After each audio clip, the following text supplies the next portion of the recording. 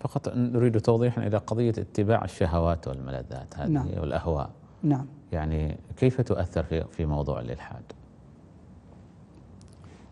ثبت أن كثيرا ممن تمسكوا بشبهات الإلحاد وزعموا أنهم ملاحدة ما دفعهم إلى ذلك إلا شهواتهم وأهواؤهم. نعم.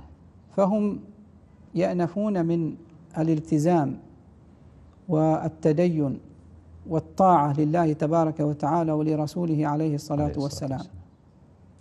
ويثقل عليهم أن يقولوا أنهم يتخففون أنهم ينحرفون عن الاستقامة فيتجهون إلى هدم بنيان الدين نفسه نعم.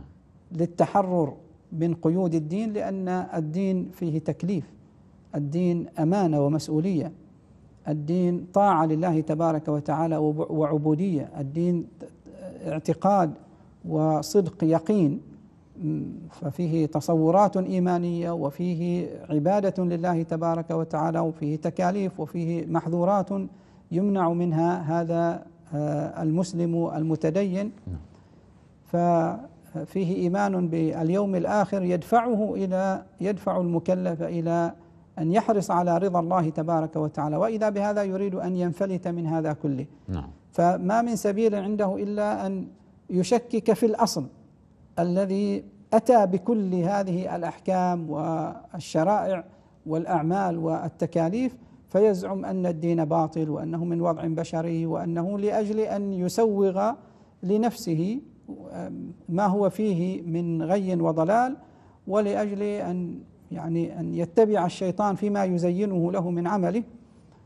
فمن أجل ذلك قلت بأن الكثير آه، أو يعني بلا مبالغة الكثير ممن يقعون أو يسلكون مسلك الإلحاد إنما دفعهم إلى ذلك آه، الرغبة في الانفلات والتحرر من أحكام الدين ومن ضوابطه وشرائعه.